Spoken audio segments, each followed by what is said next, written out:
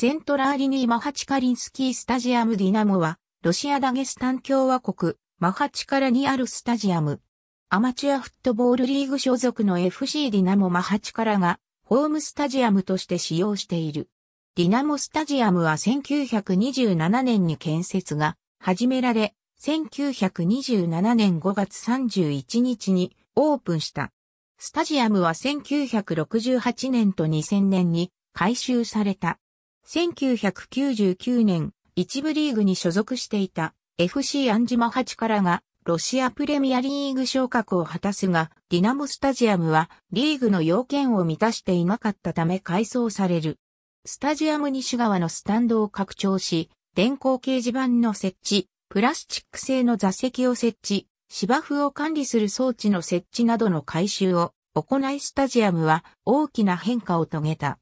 FC アンジマハチからがディナモスタジアムを利用した期間は1994年と1997年から2003年で、2003年にはスタジアムを管理、運用するフソディナモの副会長、ザガラフ・アブドゥルベコフとの対立からカスピースクにあるハザールスタジアムに移転することを余儀なくされたが、2006年以降はディナモスタジアム。2010年7月、ロシアプレミアリーグ第12節の FC ロコモティフ、モスクワとの試合はホームで行うことになっていたが、芝の状態が不十分として、ロシアサッカー連合からスタジアムの使用許可が下りず、ロコモティフと協議した結果、第12節はロコモティフスタジアムで開催することにし、10月31日の第26節はホームで開催することに合意した。